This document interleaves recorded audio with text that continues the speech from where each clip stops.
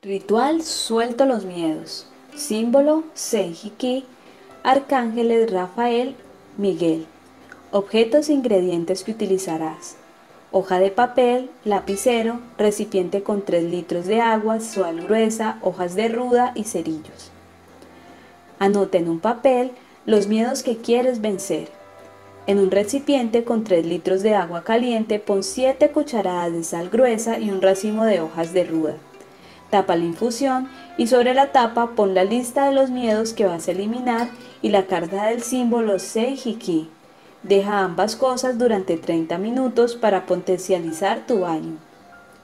Toma una ducha normal y al terminar bañate con la infusión desde el cuello hasta los pies mientras dices Arcángel Rafael, sana mis pensamientos, Arcángel Miguel, dame seguridad.